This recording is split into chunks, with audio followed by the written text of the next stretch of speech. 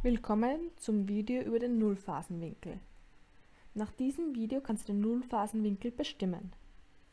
In den vorherigen Videos hast du bereits die Amplitude und die Kreisfrequenz kennengelernt. Schauen wir uns den Nullphasenwinkel an. Wir haben uns in den Videos zuvor die allgemeine Gleichung der Sinusfunktion angeschaut. Du hast gelernt, wie du die Amplitude und die Kreisfrequenz bestimmen kannst. Kommen wir nun zum Nullphasenwinkel. Hier siehst du die Sinusfunktion so, wie du sie bereits kennst. Also y von t ist gleich Sinus von t. Anders gesagt, y von t ist gleich Sinus von t plus 0. Und ganz allgemein, y von t ist gleich Sinus von t plus phi. Und phi gibt den Nullphasenwinkel an.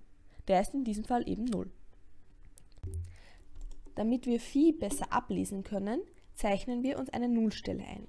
Wenn wir phi vergrößern, wandert unsere Nullstelle nach links. Und wenn wir Phi verkleinern, wandert sie nach rechts. Der Nullphasenwinkel ist nicht ganz eindeutig. Wir können nämlich mit zwei unterschiedlichen Winkeln auf dasselbe Ergebnis kommen. Wie du hier bei diesem Graph siehst, haben wir bei Pi halbe eine Nullstelle und bei minus 3 Pi halbe. Und unser Phi ist minus Pi halbe. Wenn wir jetzt Phi verändern auf plus 3 Pi halbe, haben wir erneut bei Pi halbe eine Nullstelle und bei minus 3 Pi halbe eine Nullstelle. Aber T0, die Nullstelle, die wir am Anfang gekennzeichnet haben, befindet sich woanders. Kommen wir zurück zu unserem Arbeitsblatt. Pausiere das Video und fülle die Lücken selbst aus. Der Graph von y1 von t ist gleich a mal Sinus von Omega mal t. a ist dabei die Amplitude und Omega die Kreisfrequenz. Das hast du in den vorherigen Videos gelernt. Dieser Graph wird um Phi durch Omega nach links verschoben.